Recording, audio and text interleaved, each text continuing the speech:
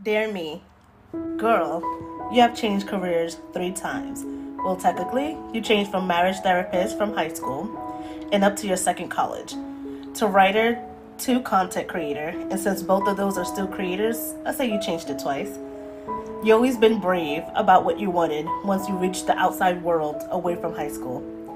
To think you never saw yourself being where you are now, working at Paramount Studios. Hello.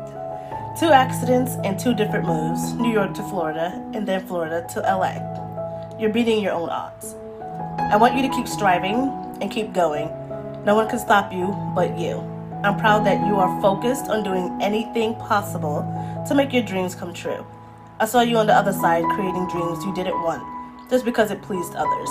Now it's time to create your own damn dreams for you. Keep going, keep soaring. You're creating your talk show and entrepreneurship life has just begun. I love you so much, Angel. You got this.